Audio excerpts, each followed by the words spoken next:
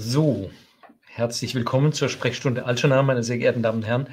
Ähm, freuen uns sehr, dass Sie heute Abend, ähm, trotz dessen, dass es ein, glaube ich, ganz schöner Abend draußen ist, mit bei uns dabei sind. Wir heißt, Sie haben heute die Situation, dass Sie nicht nur einen Experten hier haben, sondern dass wir zu zweit sind. Mein Name ist Dirk Arnold. Ich habe das Vergnügen, die Asklepios Klinik in, hier in Altona ähm, in der Fachabteilung Hämatologie und Onkologie zu leiten. Und ich bin begleitet von Dr. Maike Collien, die im Bild zu sehen ist, die vor einem schönen Blumenstrauß sitzt. Das heißt, sie sitzt nicht bei uns im Studio in Altona. Sie ist aktuell auch nicht in Altona bei uns. Sie ist Oberärztin bei uns an der Klinik, aber aktuell äh, ein Jahr, ein Forschungsjahr bei der EORTC, das heißt bei der Europäischen Krebsforschungs- ähm, Institution in Brüssel, wo sowas auch hingehört. Und äh, Frau Collien hilft sozusagen mit, äh, das, was wir uns heute vorgenommen haben, nämlich Ihnen moderne Therapien, modernes Management von ähm, Krebserkrankungen zu, äh, mit Ihnen, äh, Ihnen nahezubringen. Und wir werden das in zwei Wegen tun. Wir werden zuerst vielleicht einen kleinen Teil einer Anfangsmoderation machen, das heißt eine Einführung, wie, was ist denn eigentlich Krebsmedizin, die moderne Krebsmedizin, wie kann das funktionieren? Und äh, Frau Collien wird übernehmen und sagen, mit welchen Medikamenten können wir heutzutage Krebs behandeln. Und dann kommt ähm, der zweite Teil, der gehört natürlich Ihnen. Das sind die Fragen und Antworten, die Sie im Chat eingeben können. Und ich würde Sie bitten, das jetzt auch schon zu tun. Das heißt, wenn Sie während des Vortrags schon Fragen haben, geben Sie die ein, schreiben Sie nicht auf den Zettel, sondern schreiben Sie die gleich in den Chat und dann können wir das ähm, in unseren Vortrag mitverwenden und haben das dann gleich mit dabei. So, das war jetzt schon fast zu viel der Vorrede, weil wir noch so viel vor uns haben. Und jetzt, äh, glaube ich, starten wir mal mit ein paar, mit ein paar Eindrücken oder ein paar, paar äh, Ideen, wie sieht denn die medikamentöse Behandlung von Tumorerkrankungen in der Zukunft aus? Und da lassen Sie mich sozusagen mit der ersten Frage überhaupt schon starten. Und die erste Frage ist, wie bauen wir das dann auf? Wie bringen wir das Ihnen bei? Und jetzt freuen wir, dass Sie, hupala, das war jetzt ganz am Ende, jetzt habe ich einen Fehler gemacht, sondern darf nur hier drücken. Ähm, die Frage ist, was geben wir Ihnen äh, sozusagen heute mit. Und das ist das, ähm, die Agenda, die wir heute haben. Also erstens, das ist Krebs. Was ist Krebs? Das ist Krebs, werden wir erklären. Zweitens, wie sehen dann die molekularen Therapiestrategien, also die zielgerichteten Therapiestrategien heute aus? Und drittens, das ist die Zukunft. So wird das in der Krebsmedizin weitergehen. Das ist Krebs. Nun, ähm, Krebserkrankungen sind ähm, generell auf dem Vormarsch. Und Krebs ist äh, sozusagen, wenn wir heute darüber sprechen, ähm, ein Thema, das wir aus der Perspektive von rechts, von diesen rechten Inzidenzen angehen. Das sind sozusagen die sehr entwickelten Länder, die Industrieländer. Aber Sie sehen auf der linken Seite, Krebs ist auch ein Phänomen mit dem deutlichen Anstieg von relativ plus 96 Prozent, also einer Verdopplung der Krebsraten, die in den nächsten Jahren in Entwicklungsländern erwartet werden. Und Sie sehen, dass wir eins mit den Entwicklungsländern gemeinsam haben, nämlich wir ähm, haben Anstieg der Krebswahrscheinlichkeit und die anderen Länder haben das auch. Es ist ein globaler Trend und in dem globalen Trend müssen wir natürlich gucken, warum sind Krebserkrankungen auf dem Vormarsch und wie gesagt, was können wir therapeutisch ähm, da tun. Jetzt ähm, dann die Frage, ähm, was, ähm, wie funktioniert denn Krebs? Und ich will Ihnen sozusagen das vielleicht so erklären, wie das in den letzten 20 Jahren die Biologen uns verstehen gemacht haben. Nämlich, ähm, das ist so ein bisschen das Modell, das wir ganz früher hatten und gesagt haben, naja, Krebs ist ein ungeordnetes Zellwachstum. Irgendwie würden die Zellen auch absterben, die Krebszellen. Auf der anderen Seite würden sie wachsen. Normalerweise hält sich Wachstum und Absterben in der Balance. Wussten Sie das vielleicht überhaupt, dass wir jeden Tag an Krebs erkranken, dass wir jeden Tag Krebs ähm, produzieren, ähm, dass wir Zellen haben, die zu Krebszellen werden. Aber normalerweise schafft unser Immunsystem das auch, die sehr gut zu kontrollieren, wieder absterben zu lassen. Und einmal, wenn diese Kippe, diese Waage aus dem Gleichgewicht gerät, dann leiden wir an Krebserkrankungen, dann sozusagen finden Krebserkrankungen statt. Und das frühere Modell, das ist so ein Modell, das noch vor vielen Jahren sozusagen Krebs alleine erklärt hat, geht davon aus, dass man sozusagen eine Zielzelle hat. Das ist diejenige, die am Anfang des Ganzen steht, dass es Tumorinitiatoren gibt. Also das heißt, irgendwas löst da eine Veränderung aus. Und dann kommen immer weitere Schritte und weitere Faktoren von außen oder von wo auch immer, die dann diese Krebsausbreitung und Metastasierung äh, begünstigen. Also eine Mehrschritt-Hypothese. Es ist nicht nur ein Schritt, es ist nicht nur eine Veränderung, sondern es müssen mehrere Veränderungen hintereinander sein. Die müssen hintereinander stattfinden und nur dann durch innere und äußere Faktoren kann Krebs überhaupt entstehen.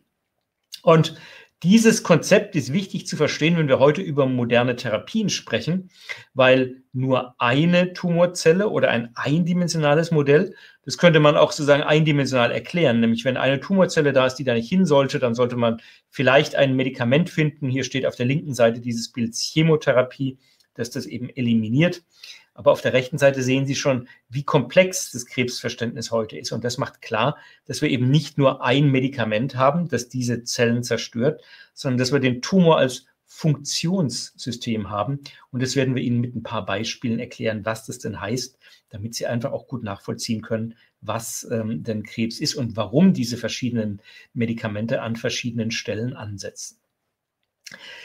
Ähm, Jeffrey Weinberg ist ein extrem intelligenter Molekularbiologe. Und der hat sozusagen sich diesem Phänomen, was Krebs ist, zusammen mit Doug Hanahan, einem anderen amerikanischen Wissenschaftler, eigentlich in den letzten 25 Jahren besonders gewidmet. Und die Kollegen haben versucht, uns schematisch begreiflich zu machen, was denn Krebs, wie denn Krebs in diesen verschiedenen Mechanismen er denn entsteht und ähm, er sich denn ausbreitet. Und ich will das Ihnen an diesem Rad, das Sie hier sehen, an drei oder vier Beispielen erklären. Nicht alle zwölf oder 14 werden wir durchhaben. Zehn haben sie auf dieses Rad draufgebracht. 14 haben sie inzwischen formuliert. 14 Prinzipien, die Krebs zum Krebs machen. Und äh, damit Sie sehen, wie unterschiedlich denn diese Faktoren sind. Und dann ist auch klar, warum wir so viele unterschiedliche Medikamente brauchen. Und ich will mal mit dem da oben anfangen. Das ist auf Englisch und das heißt, irgendwo bekommt die Zelle Signale, dass sie sich teilen soll. Und irgendwie schafft sie es, der Überwachung der Zelltods zu entgehen. Und wie sie Signale bekommt, das sind sozusagen hier so ein Beispiel in diesem Cartoon, in dieser Zeichnung. Das ist eine, das Blaue ist eine Tumorzelle. Das Grüne da drin ist der Zellkern, das Innere der Zelle. Sie sehen so Pfeile, das sind Signale, die von außen nach innen zum Zellkern gehen. Und Sie sehen, dass das über verschiedene Signalwege geht, auf die ich gar nicht wirklich eingehen möchte. Aber nur wenn diese Signale stattfinden, dann kriegt diese Zelle die Information, wachse, teile dich, vermehre dich. Und damit können Metastasierung, Ausbreitung und Wachstum bestehen. Aber Sie sehen, das ist jetzt ein Rezeptor, EGFR heißt der. Das ist einer, den wir in der Tumormedizin häufig bedienen, weil wir ihn kennen. Das heißt, da setzen wir mit Medikamenten an. Und dieser Rezeptor, den stellen Sie sich wie ein Schalter vor, der diese Zelle aktiviert die Information zum Zellkern durchstellt und dann teilt die Zelle, die Tumorzelle sich und dann wächst sie. Naja, wir haben ja aber Mechanismen, die darauf aufpassen. Wir haben ja zum Beispiel das Immunsystem. Und da haben Weinberg und Hanahan gesagt, ja, damit Tumoren Tumoren werden, kommen, Tumoren werden können, muss auch das Immunsystem gestört sein. Die, das Immunsystem erkennt ja eigentlich diese Zellen, aber irgendwann erkennt sie, wenn eine Krebserkrankung läuft, nicht mehr. Und das ist ein weiteres Beispiel, wie so das Immunsystem funktioniert. Starten wir vielleicht in diesem Kreis mal links unten. Da steht, Krebszellen setzen Krebsantigene frei. Also das heißt, Krebszellen setzen Eigenschaften frei, Moleküle, Eiweißstoffe, die dann zum Immunsystem gehen, zum Lymphknoten, dabei zwei oder drei. Da sind die sogenannten T-Zellen, die diese erkennen. Und diese T-Zellen wandern sozusagen eigentlich dann zum Tumor, sollen den Tumor anhand dieser Zielstrukturen erkennen und zerstören. Und genau diesem Kreis können Krebszellen entkommen, indem sie Substanzen oder indem sie Veränderungen, genetische Veränderungen haben, die das Immunsystem an einer dieser sieben Stellen lahmlegen, sodass es Krebszellen nicht mehr erkennt. Es gibt weitere Wissenschaftler, die uns in der Therapie gesagt haben, das sind äh, sozusagen Medikamente, die uns helfen können, diesen Zirkus, diesen, diesen Zyklus, Entschuldigung, Zirkus ist es auch, aber diesen Zyklus zu äh, unterbrechen. Und das sind eben diese beiden Herren und Dr. Qualien wird sicher in ihrem Vortrag auf die beiden eingehen, was die denn erfunden haben, dass irgendwie diese Immunzelle und die Krebszelle nicht einander entkommen können, sondern dass die Immunzellen die Krebszellen wieder entdecken und erkennen und eben zerstören können. Und wie gesagt, Krebs ist so schlau, dass es die Tumorzelle selbst lernt, sich von den Immunzellen zu verstecken. Ein dritter Weg, wie Krebs entsteht, ist die Metastasierung. Metastasierung heißt, Tumoren wachsen ja nicht nur an einer Stelle, sondern die Angst ist, dass Tumoren streuen, dass sie sich verbreiten im Körper, dass Metastasen an anderen Organen äh, entstehen. Und der Mechanismus, der dem zugrunde liegt, was Krebszellen können, ist, dass sie genau dieses Phänomen bedienen, das eine Angiogenese heißt. Angiogenese heißt das Wachsen von Blutgefäßen zum Tumor hin. Das heißt, wenn Tumoren ganz klein sind, ein bis zwei Millimeter, dann wachsen sie ohne, dass sie eigene Blutgefäße haben. Wenn sie aber größer werden wollen als ein bis zwei Millimeter und an einem ein bis zwei Millimeter Tumor stirbt niemand, dann brauchen sie mehr Sauerstoff, mehr Nährstoffe und die kriegen sie durch das Anzüchten von eigenen Blutgefäßen, von eigenen Arterien, die zum Tumor hinwachsen.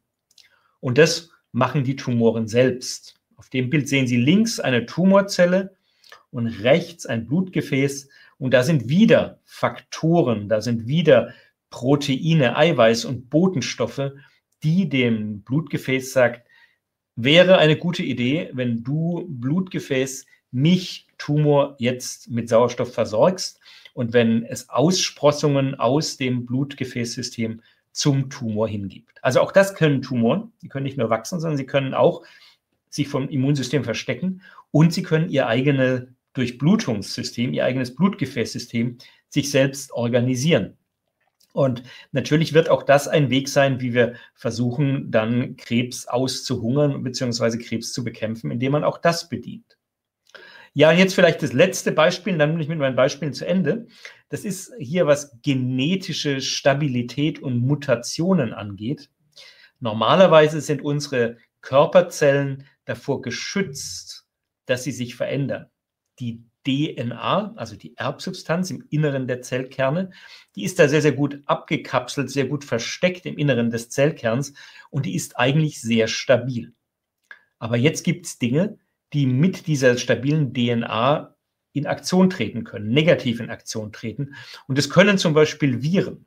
Viren können Krebs auslösen, indem sie die Virus-DNA in die Körper-DNA reinbringen und dann wird die genetisch instabil und damit teilt sozusagen sich die Zelle wieder mehr, weil äh, die Stabilität, das Gesunde ähm, der Zelle, die sozusagen auf sich selbst aufpasst, damit aufgehoben ist.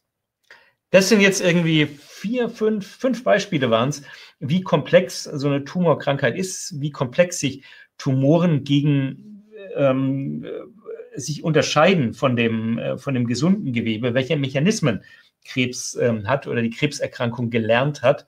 Und ähm, jetzt bleibt die Frage, wie können wir das behandeln? Und da übergebe ich an Frau Dr. Collien. Ja, guten Abend allen in Hamburg. Ähm, ich begrüße Sie ganz herzlich aus Brüssel und ich möchte Ihnen gerne, ähm, wie schon dargestellt, ähm, molekulare Therapiemechanismen heute darstellen und möchte anfangen und Ihnen einmal eine Übersicht zeigen, was ich Ihnen, was es für Wirkstoffe gibt. Das sind zum einen monoklonale Antikörper, Tyrosinkinase-Inhibitoren und auch Inhibitoren der DNA-Reparatur, auf die ich im Speziellen eingehen werde. Es gibt weitere Mechanismen, und ähm, wie Sie auf der rechten Seite sehen, kann man das eigentlich an der Häufigkeitsverteilung der Therapien ähm, ganz gut darstellen. Diese molekularen Therapien zählen heute noch zu den Minderheiten, äh, die wir einsetzen, einfach weil bestimmte Voraussetzungen in diesen Tumorzellen gegeben sein müssen, damit wir die Therapien einsetzen können. Ähm, in der Häufigkeit ähm, mehr vertreten heutzutage ist die Immuntherapie, die Ihnen bestimmt aufgrund äh, der Nobelpreisvergabe und auch des häufigeren Einsatzes heutzutage schon ähm, geläufiger sein könnte. Und ähm, die Chemotherapie, die würden wir am liebsten weitestgehend verlassen. Wir brauchen sie in vielen Bestandteilen noch, aber ähm, wir würden gerne viel zielgerichteter gegen diese Tumore arbeiten können, damit wir zielgerichtet die bekämpfen können und möglichst wenig andere Zellen im Körper beeinträchtigen. Ich möchte anfangen mit einer Übersicht, die ziemlich kompliziert aussieht und einmal Ihnen darstellen, dass oben das Gelbe ist quasi das ähm, alles außerhalb der Tumorzelle an sich. Das, was Sie da drunter sehen, diese gelbe Schicht mit den blauen ähm, Kreisen oben und unten, das ist die Zellwand, also die ähm, Wand der Tumorzelle. Alles, was blau weiter nach unten dargestellt ist, ist das Innere der Zelle. Und unten links sehen Sie den Zellkern. Das ist das, wo quasi so das Getriebe der Zelle liegt, wo quasi die DNA der Zelle liegt, wo ähm, quasi so ein bisschen mitbestimmt wird, in welche Richtung ähm, der Tumor sich weiterentwickelt. Ich habe in der obersten Reihe ähm, drei ähm, Wirkstoffgruppen eingekreist, die ich Ihnen gerne ähm, weiter darstellen möchte.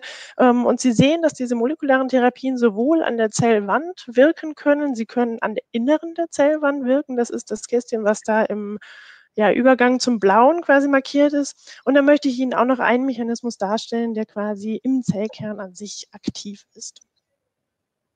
Wir fangen an mit den monoklonalen Antikörpern. Das sind Antikörper, die auf eine bestimmte Zelle zurückzuführen sind, also eine Abwehrzelle, die quasi stimuliert wird, ähm, bestimmte Antikörper zu bilden, indem ähm, der einer Maus äh, Moleküle quasi hinzugefügt werden, wohingegen man möchte, dass Antikörper produziert werden können äh, sollen und dann diese Antikörper ähm, gebildet werden. Sie sehen auf der rechten Seite der Folie dass Antikörper unterschiedlich aussehen können. Sie sehen oben links in dem Bild einen komplett weißen Antikörper. Das ist ein Antikörper, der von einer Maus ist. Sie sehen, wenn Sie weiter nach rechts gehen, einen Antikörper, der orange und weiß dargestellt ist, der rot-orange Anteil ist größer als der weiße Anteil und der weiße Anteil wird immer geringer, wenn Sie weiter nach unten links gehen und dann nach rechts. Das bedeutet, dass der Anteil des nicht-menschlichen Anteils ähm, dieses Antikörpers immer mehr abnimmt. Und das Ziel ist quasi, dass wir möglichst wenig Fremdstoffe quasi in den Körper bringen, damit unser Immunsystem quasi nicht gegen etwas zusätzlich noch kämpfen muss. Das sind Antikörper, die wir gezielt einsetzen für die Therapien. Wenn wir zu einem der ersten Antikörper gehen, die eingesetzt wurden, dann ist es das Trastuzumab. Trastuzumab hat ähm, quasi nachdem ähm, Wirkstoffe in klinischen Studien untersucht werden, werden die dann letztendlich von der Europäischen Zulassungsbehörde der EMA dann ähm, für Europa zugelassen. Das ist im Jahr 2000 erfolgt. Und Trastuzumab wirkt gegen einen bestimmten Wachstumsrezeptor, den sogenannten HER2-Neurezeptor, auf der Tumorzelle und ist vor allem ähm, zum Beispiel beim Brustkrebs ähm, überexprimiert. Das bedeutet, dass 10 bis 15 Prozent der Tumorzellen beim Brustkrebs vermehrt diesen Rezeptor auf der Zelloberfläche haben und dass dann ganz gezielt diese Antikörper gegen den Rezeptor wirken kann. Wir setzen dieses Medikament heutzutage ähm, in Kombination mit einer Chemotherapie ein, aber auch in anderer Kombination mit anderen Antikörpern. Hier sehen Sie zum Beispiel die Kombination mit Pertuzumab wirkt ebenfalls gegen ähm, den H2-Rezeptor, den Sie dort in grün auf der Zelloberfläche sehen. Und zwar sehen Sie, dass das Trastuzumab, das ist der orange Antikörper, der bindet direkt an den H2-Antikörper. Und der führt im Endeffekt dazu, dass diese vermehrt gebildeten Anti ähm, Rezeptoren auf der Tumoroberfläche, äh, Tumorwand, ähm, da weniger vorhanden sind, wohingegen das Pertuzumab verhindert, dass der linke und der rechte ähm, grüne Antikörper sich, äh, ähm, Rezeptor sich verbinden, sodass letztendlich alles das, was da unten drunter steht, also HER2-Signaltransduktion, also das Signal in die Tumorzelle an sich, verhindert wird und somit halt auch das übermäßige Wachstum nicht mehr stimuliert wird. Hier sehen Sie jetzt zum Beispiel, ich habe Ihnen ähm, für jedes Medikament, was ich quasi Ihnen zeige, habe ich Ihnen einmal den Wirkmechanismus mitgebracht, damit Sie sehen, wie das auf zellulärer Ebene wirkt, aber auch Daten, wie wir das in den klinischen, ähm, im klinischen Einsatz haben. Und hier sehen Sie jetzt einfach mal zum Beispiel eine Überlebenskurve einer klinischen Studie. Das bedeutet, die Patienten bekommen, äh, haben in dieser Studie ähm, Pertuzumab, Trastuzumab, Docetaxel bekommen. Das ist, das letztere ist eine Chemotherapie, die anderen zwei Stoffe habe ich Ihnen zuvor gezeigt. Das war der Therapiearm. Auf der anderen Seite wurde das verglichen mit einer Standardtherapie, die zuvor schon etabliert war. Und das war Trastuzumab plus Docetaxel. Und Sie sehen jetzt auf dem Oberfl äh, oberen Teil der Abbildung, das Gesamtüberleben dieser Patientinnen, die ähm, dort behandelt wurden beim Brustkrebs. Und Sie sehen, ähm, das darf ich Ihnen verraten, dass die äh, rote Kurve, die obere Kurve, das ist die Kurve, wo Pertuzumab, Trastuzumab und Docetaxel gegeben wurden, zu einem Überlebensvorteil führen. Und das sehen Sie ganz gut, dass ähm, die Kurven ähm, doch auseinanderweichen. Und das ist das, wie wir in klinischen Studien untersuchen, ob diese Wirkstoffe gesichert, sicher einsetzbar sind, dass sie von ähm, den Nebenwirkungen verträglich sind, aber auch wirklich einen Effekt für das Überleben der Patientin haben. Wenn wir uns jetzt unterhalten, dass wir sagen, wir möchten immer genauer therapieren, wir möchten die Tumorzellen genauer beeinflussen, ähm, müssen wir uns auch über andere Nebenwirkungen unterhalten als jetzt Chemotherapien. Ich nehme an, dass Sie alle schon mal etwas über Chemotherapien gehört haben. Da ist ganz häufig das Stichwort Übelkeit, Durchfall, Haarausfall, das ist das, was uns als erstes entgegengebracht wird. Und bei diesen zielgerichteten Therapien ist es so, dass wir spezieller Therapien, aber dadurch auch speziellere Nebenwirkungen erhalten. Zum Beispiel hier beim Trastuzumab ist es so, dass wir wissen, dass die Schlagkraft des Herzens doch abnehmen kann. Deswegen machen wir immer auch ähm, Ultraschalluntersuchungen vom Herzen, um sicherzustellen, dass wir ähm, keine übermäßige Schädigung der Patienten ähm, des Herzens quasi hervorrufen. Ähm, wir können ähm, vermehrt auch Infektionen sehen, was wir auch von Chemotherapien kennen genauso wie Blutarmut. Und auf diese Antikörper kann man allergisch reagieren. Das hängt mit dem Anteil der Mauskomponente, sage ich mal jetzt einfach dargestellt, ähm, zusammen. Der nächste Wirkstoff, den ich Ihnen gerne ähm, nochmal näher bringen möchte, den hat Herr Arnold schon angedeutet, das Cetuximab. Cetuximab ist ebenfalls ein ähm, Antikörper. Ähm, der wurde 2004 zum ersten Mal in Europa zugelassen und wirkt auch gegen einen Wachstumsrezeptor, diesmal den EGF-Rezeptor und äh, wird in Kombination oder mit Chemotherapie heute beim Darmkrebs eingesetzt, aber auch bei Tumoren im Kopf-Hals-Bereich. Und ähm, zusätzlich ähm, gibt es mittlerweile auch Daten dafür, dass eine Kombinationstherapie mit anderen zielgerichteten Medikamenten bei metastasierten Darmkrebs auch sehr wirksam sein kann, sodass wir dort eine Therapie komplett ohne Chemotherapie haben ähm, und da eine sehr gute Wirkung erreichen. Hier als Beispiel einmal die ähm, Karas-Mutation ähm, als Ausnahme genannt. Es ist so, dass bestimmte Voraussetzungen halt in diesen Zellen gegeben werden müssen, damit dieses Medikament halt wirkt. Und das ist beim Cetuximab der Karas-Wildtyp im Gegensatz zur Mutation. Das zeige ich Ihnen auf der nächsten Folie. Sie sehen einmal links den gesunden Weg hm, auf der Abbildung A, da sehen Sie, wie ein Ligand, also ein kleines Molekül an den Rezeptor bindet, der grün dargestellt ist. Und dann sehen Sie, dass in der Zelle ähm, eine Kaskade an Reaktionen losgeht und dann das Ende quasi ist, dass die Zelle wächst. In der Mitte sehen Sie in pink dargestellt, das ist das Molekül, das ist der Antikörper Cetuximab, der bindet an den Rezeptor und führt dazu, dass in der Zelle keine Reaktion mehr abläuft. Sie sehen, dass unten die Pfeile, die in der linken Abbildung noch da sind, ähm, nicht mehr vorhanden sind, weil diese Zelle quasi kein Wachstumssignal mehr adäquat bekommt und sich dadurch halt auch nicht mehr vermehrt teilt. Jetzt ist es aber so, dass ähm, in der rechten Abbildung des Karas, das ist jetzt ähm, das Molekül, was unter der Zellmembran, die Sie hier im Blau sehen, das ist so rot eingezeichnet im Gegensatz zu den anderen beiden Abbildungen links. Hier ist das Karas mutiert. Das führt dazu, dass die Zelle, die Tumorzelle es geschafft hat, einen Mechanismus zu entwickeln, dass sie trotzdem wachsen kann und die Signalkaskade quasi umgehen kann, auch wenn der Antikörper bindet. Und dies ist ein Beispiel halt für molekulare Veränderungen, wie der Tumor quasi sich ähm, unseren Wirkmechanismen entziehen kann und trotzdem wachsen kann.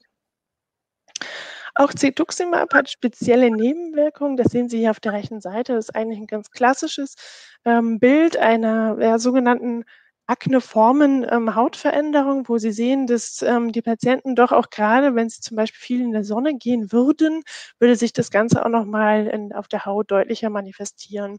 Das kann man in der Regel mit ähm, Cremes und auch Antibiotika, die man lokal verabreichen kann, ähm, kann man das deutlich äh, verbessern. Auch hier sind Nagelveränderungen neben den Hautveränderungen ähm, können dort auftreten, Juckreiz kann auftreten und auch hier die allergischen Reaktionen, die eigentlich bei jedem Antikörper in einer gewissen Weise mitspielen, ähm, können aber genauso auch bei herkömmlichen Chemotherapien auftreten. Als nächstes gehen wir in das Innere der Zelle. Das heißt, Sie sehen hier auf der rechten Seite diesmal die Zellwand ähm, in gelb-blau dargestellt. Ähm, da sehen Sie, dass der Rezeptor, der hier in rot dargestellt ist, in der Mitte ähm, einen äußeren Anteil hat. Das war da, wo bislang die anderen beiden Wirkstoffe angegriffen haben. Und es hat aber auch einen inneren Teil. Das sind die roten Vierecke mit den vier Ps daran. Und äh, das Medikament Pemigatinib ist ein Vertreter der Tyrosinkinase-Inhibitoren und das hemmt ähm, die, den, den Rezeptor von innen. Und zwar können diese Tumoren, die diesen Rezeptor vermehrt haben, können diese, ähm, können dadurch Wachstumssignale vermehrt und von sich aus quasi äh, senden, sodass halt die Zelle sich vermehrt ähm, wachsen kann. Hier wirkt das Pemigatinib daneben. Das ist ein spezielles Medikament, ähm, was ähm, eingesetzt werden kann, wenn diese Rezeptoren einen bestimmten Anteil ähm, die genetische Information so verändert ist, dass halt diese ähm, vermehrte Selbstaktivierung in der Tumorzelle und damit das Wachstum ähm, quasi besteht. Als Beispiel sind hier die Gallengangstumore genannt. Ähm, 5 bis 15 Prozent der Tumore haben solche Veränderungen an diesen Rezeptoren und dann kann dieser Wirkstoff eingesetzt werden. In den USA ist dieses Medikament bereits zugelassen. Das gibt es zum Beispiel auch beim Blasenkrebs. Ähm, das Medikament ist in Europa aktuell noch nicht zugelassen.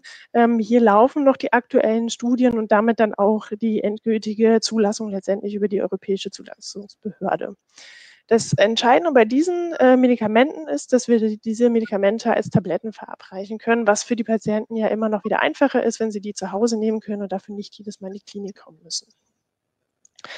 Auch hier ähm, gibt es eine Studie, die ich Ihnen gerne vorstellen möchte. Ähm, hier ist es so, dass Sie ähm, auf der X-Achse aufgetragen sehen, alle Patienten, die in dieser Studie teilgenommen haben. Das sind Patienten mit Gallenangstumoren gewesen und Sie sehen alles das, was auf der Y-Achse nach unten reicht. Das sind die Anteile der Tumoren oder der, auch der Anteil der Tumore, der geschrumpft ist, beziehungsweise wo hinterher auch tatsächlich bei vier Fällen gar kein Tumor mehr nachweisbar war. Links der kleinere Anteil der äh, Darstellung, das sind die Tumore, die trotz dieser zielgerichteten Therapie gewachsen sind. Und Sie sehen, dass ähm, ein großer Anteil der Patienten mehr als ähm, 30 Prozent, ähm, ein, einen mehr als 30 prozentigen Rückgang ihrer Tumormasse hatten unter dieser Therapie, was sehr erfolgsversprechend ist. Pimigatinib wirkt von innen heraus aus der Zelle und macht ganz spezielle Nebenwirkungen. Also die Patienten berichten ganz häufig, dass sie einen trockenen Mund haben, der Mund entzündet sich und ähm, das können auch Nagelveränderungen auftreten, ebenso wie trockene Haut. Das kann man sehr gut mit Mundspüllösungen in den Griff bekommen, ebenso wie mit äh, speziellen Cremes für die Haut, sodass das auch gut toleriert wird. Eine besondere Nebenwirkung ist der hohe Phosphatspiegel, der halt aufgrund des speziellen Wirkmechanismus eintritt. Ähm, da sehen Sie hier schon mal, dass diese Nebenwirkungen sich auch gegenüber den Antikörpern ähm, verändert haben, spezieller geworden sind, wo wir halt auch immer noch spezieller darauf achten. Als nächstes möchte ich mit Ihnen dann ähm, in die von der initialen Abbildung gesehen unten links in den Zellkern gehen.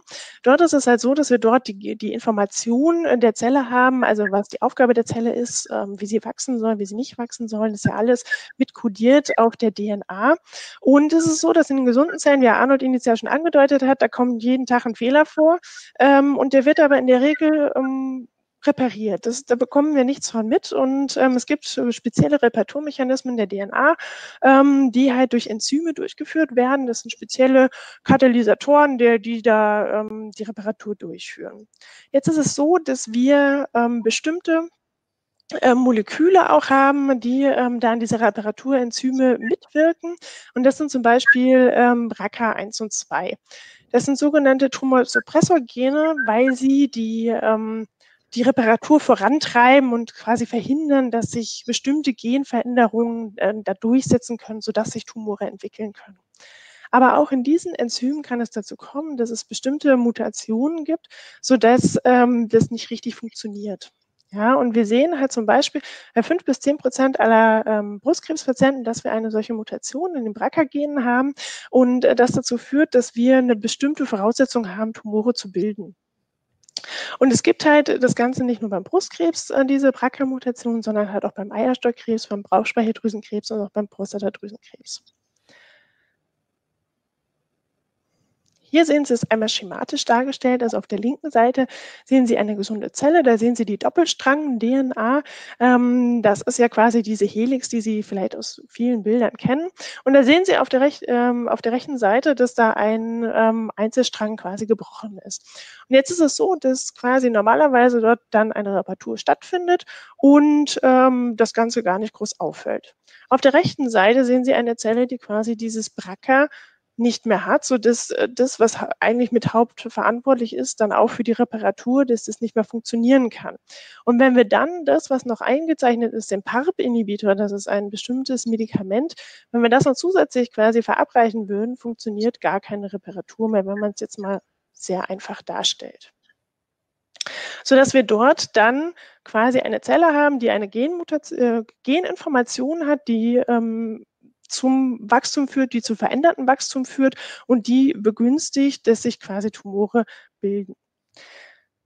Hier wiederum stelle ich Ihnen Ergebnisse einer Studie wieder dar. Das ist die Solo-2-Studie, die ist durchgeführt worden bei Patienten, die ähm, Eierstockkrebs hatten und die eine bestimmte Chemotherapie bekommen haben, die auch die DNA schädigt und auf diese Therapie gut angesprochen haben. Und dann ist halt immer die Frage, wann hört man mit einer Therapie auf oder wann führt man sie fort?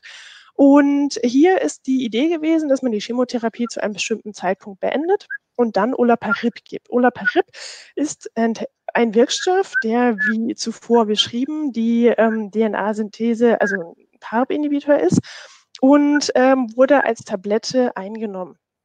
Hier sehen Sie auch, die obere Kurve ist das Olaparib, der Wirkstoff. Die rote Kurve für der oberen Teil des Abbildung ähm, ist ein Placebo gewesen, sodass nach der Chemotherapie keine weitere Thera Tablettentherapie mit einem Wirkstoff durchgeführt wurde.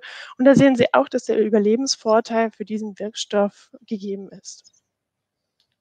Auch hier bestehen bestimmte Nebenwirkungen. Hier bestehen vor allen Dingen die Blutbildveränderungen, die die Therapie beeinflussen, aber auch Infektionen, Müdigkeit, verminderter Appetit und auch Dis äh, Luftnot. Als letztes möchte ich nun auf die Immuntherapie eingehen. Das ist die, wenn Sie sich den Wimpel nochmal vor Augen führen, das ist das, was wir eigentlich heutzutage schon sehr häufig einsetzen, was halt auch bei vielen Tumoren einsetzbar ist und nicht nur bei speziellen äh, molekularen Veränderungen. Das Ganze, die ganzen Therapien sind 2011 das erste Mal zugelassen worden hier in Europa und zwar vor allen Dingen für den schwarzen Hautkrebs, das maligne Melanom. Und das Ziel ist quasi, dass die körpereigene Abwehr wieder aktiviert wird. Wer die Tumorzellen können nämlich über bestimmte Mechanismen diese Abwehrzellen ausschalten und sagen, ich möchte nicht mehr von euch abgewiesen werden. Und das Ziel ist über diese Wirkstoffe, dass wir genau das wiederherstellen, dass unser Immunsystem wieder aktiv werden kann. Wir geben diese ähm, Immuncheckpoint-Inhibitoren heutzutage zum Beispiel beim Darmkrebs, wir geben sie beim Lungenkrebs, beim Magenkrebs, beim Speiseröhrenkrebs. Ähm, wir geben sie aber viel beim Blasen- und Nierenkrebs. Und es gibt viele unterschiedliche Tumore, wo wir sie gut einsetzen können. Wir können sie nach der Chemotherapie einsetzen. Wir geben sie in Kombination mit Chemotherapie und wir geben sie auch als Monotherapie. Das bedeutet nur ein Checkpoint-Inhibitor oder eine Kombinationstherapie aus zwei Checkpoint-Inhibitoren. Das ist wahrscheinlich für Sie im Monitor ein wenig klein, aber Sie sehen auf der linken Seite und auf der rechten Seite zwei unterschiedliche ähm, Arten die, ähm, oder Rezeptoren, wie man die T-Zellen, die Abwehrzellen wieder aktivieren kann. Und das Ziel ist quasi, ähm, das sehen Sie in dem rechten Anteil rechts unten, was mit vier ähm, nummeriert ist, der linken Abbildung. Wir wollen wieder eine aktivierte T-Zelle haben, also eine Abwehrzelle, die nicht inaktiviert wird. Und dasselbe wird halt auch auf der rechten Seite mit dem anderen Rezeptor erreicht. Nebenwirkungen, die hier vor allem das Immunsystem betreffen, treffen alle ähm, Organe, die mit dem Immunsystem viel interagieren. Das können zum Beispiel oder auch wo wir wissen, dass es viele Autoimmunerkrankungen gibt. Ähm, Sie kennen sicherlich jemanden, der eine Schilddrüsenunterfunktion hat, die sogenannte Hashimoto-Thyreoiditis. Das führt einfach dazu, weil wir dort Antikörper haben, die der Körper selber produziert und dadurch dann die Schilddrüse weniger aktiv ist. Und ähm, über bestimmte andere Mechanismen ähm, wird sowas zum Beispiel auch durch die Immuncheckpoint-Inhibitoren hervorgerufen. Genauso wissen wir, dass die Hirnanhangsdrüse, die auch Hormone produziert, damit wir, ähm, damit zum Beispiel die Schilddrüse aktiviert wird, damit wir ähm, Cortisol produzieren können, auch die kann beeinflusst werden. Genauso können aber auch zum Beispiel relativ häufig die Lunge ähm, beeinträchtigt sein, dass wir dort bestimmte Abwehrvorgänge haben in der Lunge, die wiederum ähm, dort eine Lungenentzündung auslösen können, aber nicht, wie wir sie häufig von Bakterien können, kennen, sondern in bestimmten anderen Anteilen der Lunge in dem Gewebe eher dazwischen. Genau ähnlich kann das auch beim Herzmuskel auftreten. Wir wissen bei vielen Nebenwirkungen noch gar nicht, in welcher Ausprägung sie dauerhaft bestehen können oder wie sie sich schnell wieder lösen können, weil wir einfach auch hier noch viel lernen von den Wirkstoffen, weil sie halt einfach in den letzten Jahren erst entwickelt wurden und den breiten klinischen Einsatz gefunden haben. Zuletzt möchte ich einmal noch mal darauf eingehen, dass wir halt gerade im Bereich der molekulären Medizin ähm, immer wieder unseren Patienten anbieten möchten, diese speziellen Therapieverfahren zu erhalten. Wir aber auch hier immer wieder ähm, das Problem haben, dass nur sehr wenige Patienten für bestimmte Tumortherapien in Frage kommen und wir deshalb klinische Studien durchführen, ähm, gerade im Asklepios Tumorzentrum ähm, an unterschiedlichen Standorten, unter anderem in Altona, wo wir einfach neue Wirkstoffe testen und häufig in internationalen Studien. Ähm, und da gibt es halt unterschiedliche Netzwerke. In Deutschland ist zum Beispiel die AIO, die Arbeitsgemeinschaft internistische Onkologie, äh, wo wir Studien durchführen, oder auch wie ähm, ich jetzt hier in Brüssel in der EORTC. Damit möchte ich diesen Teil schließen und wieder an Herrn Arnold übergeben. Ganz herzlichen Dank, Frau Kollian. Und bevor wir jetzt ähm, in die Zukunft gucken, gucken wir erstmal in die Fragen.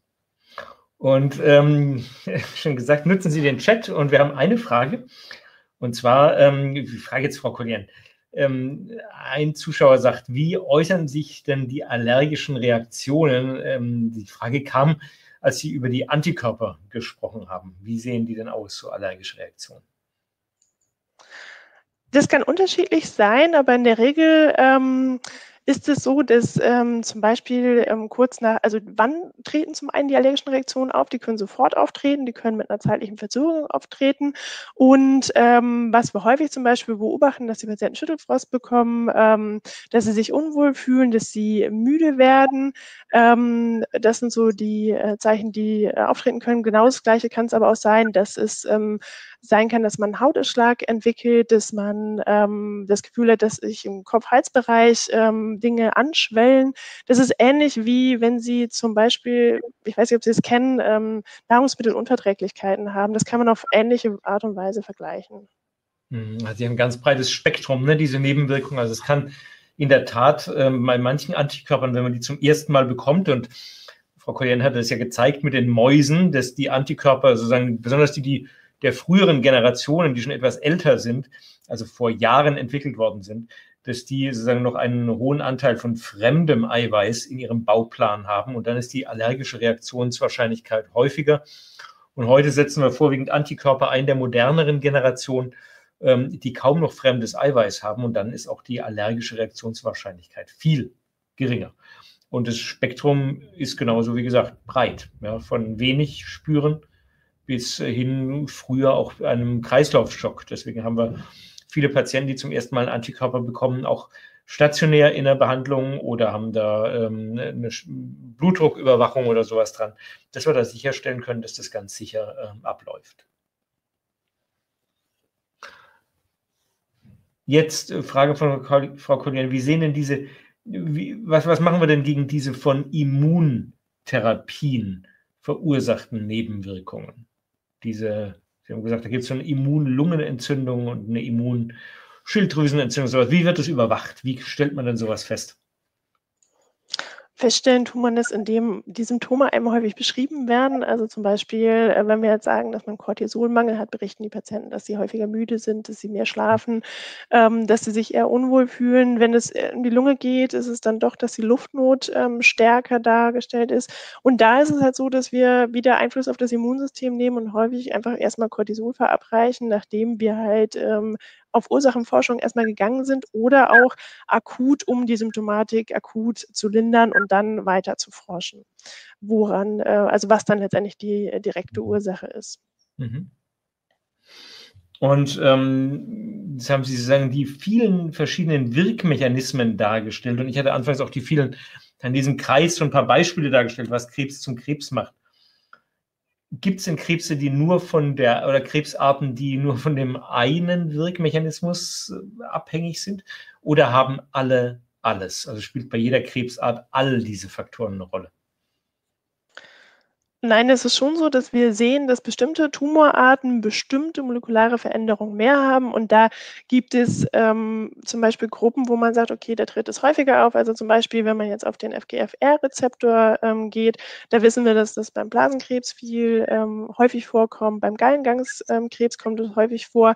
Wir wissen aber, dass wir zum Beispiel beim Darmkrebs da nicht so viel Erfolg haben ähm, aus den klinischen äh, Studien, die wir bislang haben.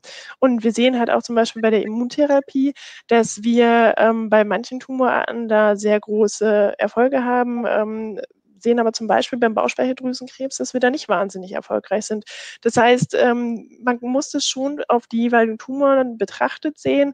Es spielt nicht alles bei allen Tumoren eine Rolle. Ähm, und da sind wir aber sicherlich noch äh, auf einem guten Weg, wo wir gucken müssen, was ist wirklich entscheidend für welchen Tumor und wie kann man das möglicherweise auch in Kombination ähm, nutzen, um an den auch den Signalketten, die dann hinter den Rezeptoren in den Wirkmechanismen ähm, liegen, ähm, da eine gescheite Kombination erreichen kann, sodass wir den Tumor da gut ausbremsen. Mhm. Frage auch noch, wenn wir so verschiedene Wirkmechanismen haben äh, und Sie sagen, wir können Kombinationen untersuchen, Sie auch in der, in der EORTC Kombinationen untersuchen. Wie stellen wir denn sicher, dass diese Kombinationen wirklich auch Hand in Hand zusammenarbeiten und nicht nur mehr an, an Nebenwirkungen und mehr an Chaos in der Tumorzelle produzieren. Naja, die Wirkstoffe werden ja nicht zuerst direkt am Menschen getestet, sondern es wird halt erstmal in Laborversuchen geguckt, ob wir da in mhm. bestimmten Zellen einen Erfolg sehen und dann wird das an kleinen Gruppen zunächst getestet und dann ähm, schaut man von da ausgehend, ähm, inwiefern man das mit der Toxizität, also mit den Nebenwirkungen dann vertreten kann, dass man sagen kann, man geht in größere klinische Studien, um da dann auch wirklich den Patienten dort ähm, dieses Medikament verabre zu verabreichen. Also es ist immer ähm, auf der einen Seite das Ziel, neue Wirkstoffe zu entwickeln, Kombinationen zu entwickeln, um unseren Patienten besser zu helfen, aber auf der anderen Seite auch immer zu gucken, ist das wirklich sicher, ähm, ist das, was ich mit Nebenwirkungen äh, möglicherweise in dieser Therapie in Kauf nehme, auch wirklich zu vertreten, damit wir unsere Patienten sicher behandeln und auch die Lebensqualität erhalten. Mhm. Mhm. Okay. Mhm. Gibt Fragen also aus der Gruppe? Ich habe äh, bislang äh, ein bisschen noch, noch Zurückhaltung da. Ähm, jetzt haben wir viel gehört, viel gelernt über Biologie und viel über die, die Mechanismen, die sozusagen da sind. Und ich glaube, es war uns besonders wichtig, Ihnen zu vermitteln, wie komplex denn so ein System Krebs eigentlich ist. Und dass in den ganz seltensten Fällen nur ein Medikament alles platt macht, alles kontrolliert, die Krankheit vollständig kontrolliert. Gibt es solche Fälle überhaupt, Frau Konjen, dass man das, gibt solche Situationen überhaupt? Dass man sagt, nur ein Medikament, das wirkt so gut, dass dann die Krankheit gar nicht mehr da ist? Naja, das Problem ist, also wir wissen es ja zum Beispiel, ähm, von dem Cetuximab jetzt beim Darmkrebs, dass wenn wir es eine bestimmte Zeit einsetzen, ähm, wir ein gutes Ansprechen erreichen, wir aber auch dann wieder zu einer Situation kommen können, wo dieses Medikament nicht mehr wirkt. Das heißt, ähm, die Zelle hat wiederum, ein Tumor hat einen Weg gefunden, sich ähm, wieder mal vor uns zu stellen und zu sagen, naja, so richtig äh, gut finde ich das nicht, was ihr mit mir macht und ähm, ich habe es mir anders überlegt. Und äh, da dann wieder quasi eine ähm, Idee zu finden oder eine Therapie zu finden, äh, das wieder rückgängig zu machen, ist halt sicherlich auch was und so, dass ähm, man da auch immer mit Resistenzen rechnen muss in diesen Therapien, weil diese Tumorzellen einfach unglaublich clever sind. Mhm. Jetzt gibt es eine Frage noch, ähm, für die ich sehr dankbar bin. Ähm, ein Zuschauer sagt, welche Möglichkeit hat man als Europäer, wenn so ein Medikament ähm, für eine Krebserkrankung in den USA zugelassen ist oder in der Studie irgendwo ist, äh, will ich mal ausweiten. Aber eine konkrete Frage ist, wenn es in den USA zugelassen ist, hat, haben wir das als Onkologen auch im Blick oder ähm, gucken wir nur auf die europäische Zulassungsbehörde? Und ich nehme die Frage mal sozusagen selbst, weil ähm, das ist in der Tat eine spannende Frage, wobei das auch nicht nur ein eindimensionaler Weg ist. Es ist in der Tumormedizin in der Tat nicht so, dass in den USA alles besser und in Europa alles lahmer ist. Das ist in vielen Bereichen des Lebens so, aber in der Krebsmedizin ist es mitunter auch umgekehrt. Und ich glaube, Onkologen beider Kontinente als globale Community haben das sicher im Blick, was an den großen Kongressen vorgestellt worden ist oder vorgestellt wird. Und äh, wir versuchen auch, ähm, die Medikamente dann in Deutschland ähm, zu haben, wenn die Situation tatsächlich da ist und die gibt es. Ähm, wir haben eigentlich mehrfach pro Woche die Situation, dass wir Patienten haben, wo wir in einer Therapiesituation sind, wo ein Medikament irgendwo auf der Welt zugelassen ist, das wahrscheinlich sinnvoll ist, das aber noch im Zulassungsverfahren in anderen Teilen der Welt sind.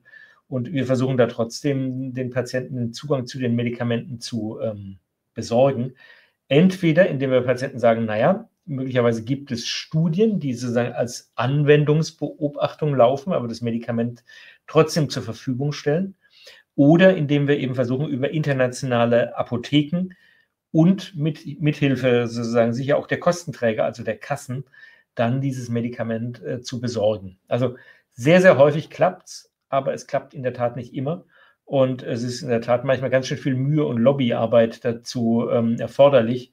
Und es ist natürlich auch, die Frage ist sehr berechtigt, eine Kenntnis erforderlich. Und deswegen ist es bei Tumorkrankheiten häufig sehr gut, mal auch mit seltenen Erkrankungen in seltenen Situationen sich eine Zweitmeinung irgendwo einzuholen ähm, und da zu gucken, ob denn an alles tatsächlich gedacht worden ist oder ob es dann äh, noch eine medikamentöse Option irgendwo gibt, ähm, an die derjenige Behandler gerade nicht denkt. Das waren jetzt viele Antworten, aber die Frage ist, äh, ist extrem berechtigt. Okay.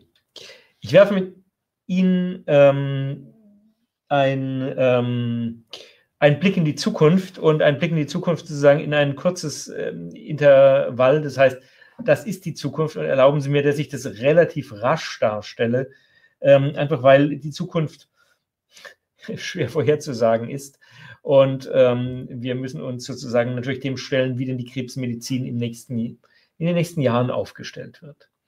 Das ist mal jetzt so ein Beispiel dessen, was wir gesagt haben mit diesen vielen Mutationen. Das ist so ein Cartoon, der zeigt, wie so ein äh, Schaltkreis ist und wir haben unendlich viele Mutationen an Tumoren. Und gerade haben wir in den Beispielen, die Frau Collien gezeigt hat, immer nur eine Mutation gehabt. Aber jeder Tumor hat mitunter viele Mutationen. Wir gehen davon aus, dass ein normaler Brustkrebs etwa 70 oder 80 Mutationen hat. Und normaler Brustkrebs hat viele zigtausend Gene.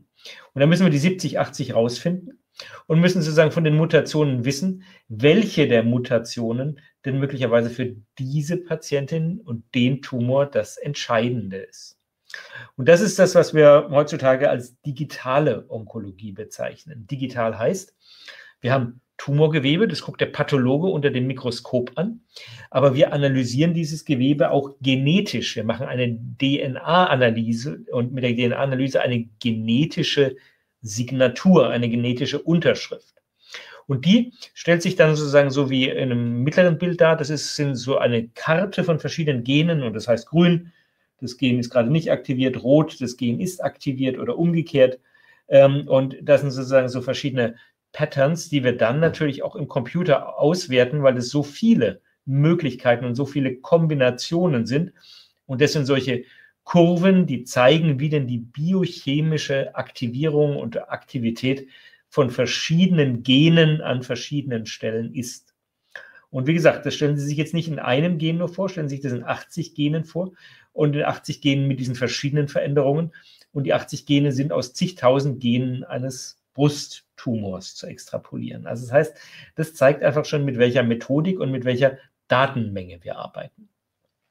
So sieht so eine Kartografie von Genen aus. Das sind jedes dieser kleinen Linien, das sind vielleicht so etwa 40.000 hier drauf, ähm, von diesen kleinen Linien, die dann in einer verschiedenen Farbe sind, zeigt das Muster, ob dieses Gen in diesem Abschnitt, in diesem Cluster aktiviert ist oder nicht. Und das charakterisiert letztendlich die Erkrankung. Die moderne Onkologie, die molekulare Onkologie sagt, wahrscheinlich ist in Zukunft viel weniger relevant, ob der Tumor zuerst der, am Darm, an der Blase, am Magen auftritt, sondern welche dieser genetischen Dinge denn da sind. So sieht so eine Genkarte aus. Das ist sehr klein gedruckt und das ist aber sozusagen, was ich Ihnen mal gerne zeigen wollte, ein kommerziell erhältlicher genetischer Test, hier eines Unternehmens, das heißt Foundation One, die testen Tumorpatienten an 320 oder 330 Genen, die besonders relevant sind. Und die schicken uns dann zusätzlich zu dem, was wir vom Pathologen haben, wenn wir diese Untersuchungen durchführen, so einen Befundbericht, in dem die relevanten Gene für diesen Patienten aktiviert sind.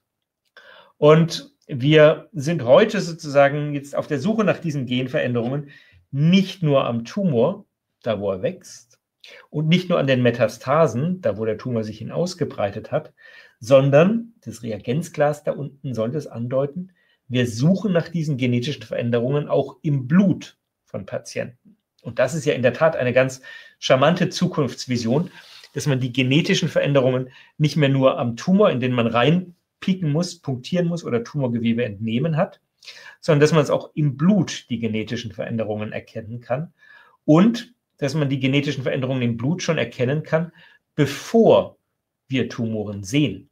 Also das heißt, die moderne Zukunft der Vorsorgeuntersuchung wird so genetisch basiert sein, dass man eine Blutabnahme hat, ganz einfach zum Hausarzt gehen, Blut abnehmen und dann wird das Blut analysiert, ob denn diese genetischen Veränderungen schon da sind. Genetische Veränderungen, die mit einer Tumorkrankheit assoziiert sind, wo man dann sagen kann, da müssen wir weitersuchen, da scheint irgendwo eine Tumorerkrankung zu sein. Die neuen Therapien, und ich habe hier so eine Seite des Bundesministeriums für Bildung und Forschung ähm, äh, mal kopiert, die ähm, führen sich in solchen Kollaborationen wie der nationalen Dekade gegen den Krebs raus, indem wir sagen, gut, jetzt wissen wir auf der rechten Seite diese genetischen Untersuchungen, aber natürlich ist die Frage, wie kommen wir denn hier zu neuen Medikamenten? Wie können wir denn die Informationen nutzen, die wir haben? Und ähm, das ist eine englische Folie, die einfach den relativ traurigen Zustand heute sagt, in dem wir heute da quantitativ sind und den Weg in die Zukunft schon öffnet. Weil äh, wenn man jetzt sozusagen die bisherige Geschichte dieser molekularen Medizin zusammenfasst, dann haben wir 13.000 Patienten, aus denen wir die Ergebnisse extrapoliert haben. Aber unterm Strich ist es so, wie es da unten äh, äh sich zeigt. Aktuell ist die genetische Ausgangslage, dass wir 1000 Patienten zum Beispiel in so eine genetische Testung stecken, dass 400 davon eine Veränderung haben, die möglicherweise angehbar ist dass wir bei 120 tatsächlich dann auch ein Medikament haben und dass zwischen 8 und 30 der Patienten dann auch eine erfolgreiche Therapie haben. Das heißt, insgesamt sind es nur 0,8 bis 3 Prozent, also 8 bis 30 von 1000 behandelten Patienten, die heutzutage von diesen molekularen Tests eine ähm, Verbesserung ihrer Prognose zu erwarten haben. Das ist nicht viel. Und es muss in dieser Dekade natürlich deutlich mehr werden. Wir müssen mehr molekulare Medizin haben. Und das ist so ein Schlagwort, mit dem wir uns in der Tumormedizin besonders beschäftigen.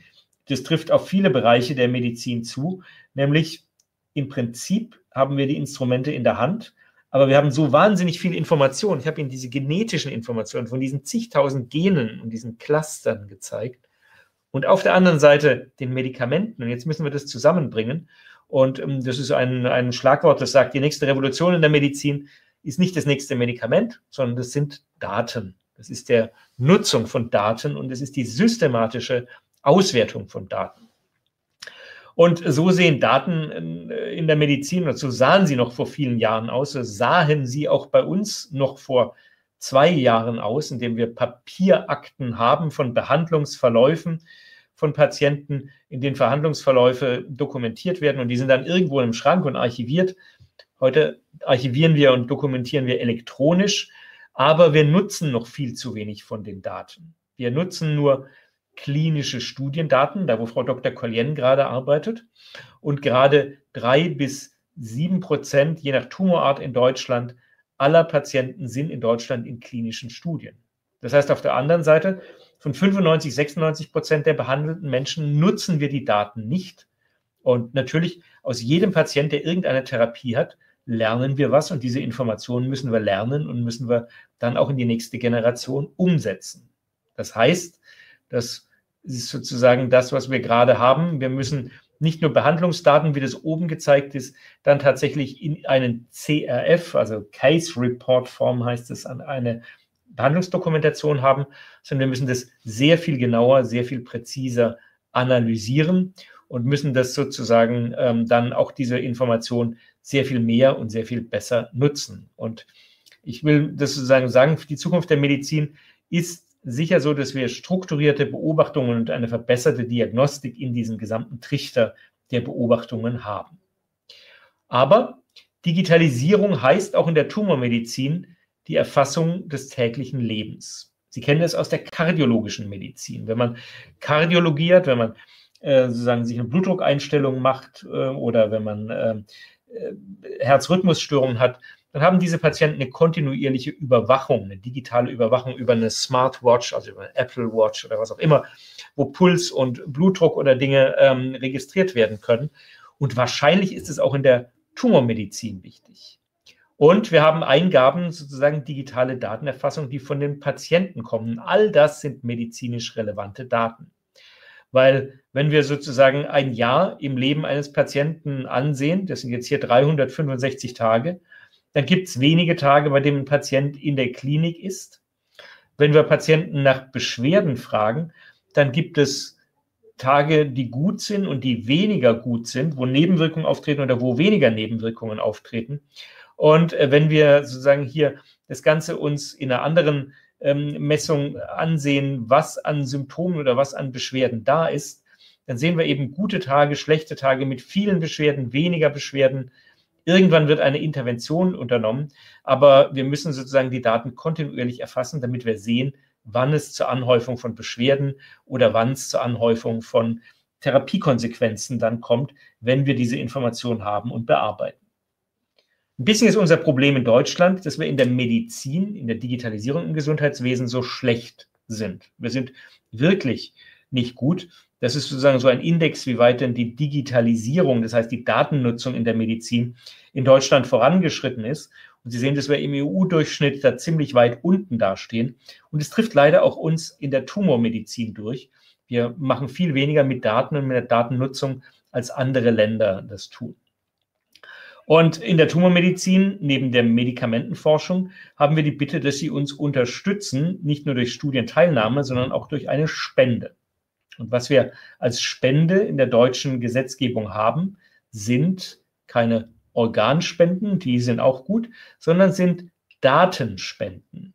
Das heißt, wir haben in Deutschland sehr strenge Datenschutzgesetzgebung. Die führt vielleicht auch dazu, dass wir da in diesem ganz unteren Teil der ähm, europäischen Vergleich, des europäischen Vergleichs sind. Wir interpretieren die europäischen Gesetze sehr, sehr streng. Das ist gut, dass wir sehr streng und strikt im Datenschutz sind, aber es behindert uns natürlich in der Forschung. Und wir können Forschung in der Tumormedizin nur betreiben, wenn wir diese vielen Daten, genomische, genetische Daten, klinische Daten, wie geht es Ihnen während der ganzen Tage Daten systematisch nutzen können. Und das können wir nur, indem Patienten uns diese Daten oder Betroffene freiwillig pseudonymisiert oder anonymisiert zur Verfügung stellen. Und das wird uns helfen, das, was gerade in der Politik sehr diskutiert wird, das Krebsregistergesetz ist im April verabschiedet worden, ähm, dass ähm, wir ähm, sozusagen in, das, in, den, äh, in den Punkt bekommen. Ich habe diese Folie drauf, weil das Krebsregistergesetz tritt in Kraft, hieß hier sozusagen schon im April 2013. Und es hat tatsächlich, Sie haben die politische Diskussion vielleicht verfolgt, bis zu diesem Jahr gedauert, bevor das neue Krebsregistergesetz, das heißt die Zusammenführung der Krebsregister der Behandlungsdaten, wirklich aktiviert ist. Damit, meine Damen und Herren, glaube ich, sind wir mit unseren Folien, unseren Vorträgen über die Zukunft durch. Diesen Cartoon habe ich in der Süddeutschen Zeitung vor über einem Jahr gesehen. Den fand ich extrem klasse, weil er eigentlich sozusagen genau das ähm, auch für die Tumormedizin zusammenfasst, wie die Zukunft aussehen wird.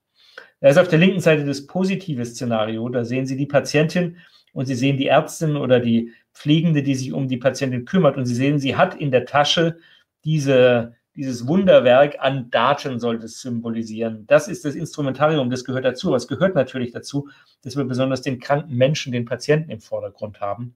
Und rechts ist natürlich das negative Szenario, wenn die Medizin sich nur mit den Daten und mit sich selbst beschäftigt und die arme Person hinten dran vergisst, die die Hände ähm, reckt und sagt, ich brauche doch aber jetzt gerade Hilfe, dann macht die Medizin das auch nicht richtig. Aber genau diese beiden Punkte müssen wir optimal miteinander abstimmen. Modernität in der Medizin, aber auch natürlich die Fürsorge für sie in der Situation. Damit, meine Damen und Herren, sind wir eigentlich am Ende dessen, was wir Ihnen zeigen wollten. Und jetzt ist die Frage, gibt es noch Fragen von Ihnen?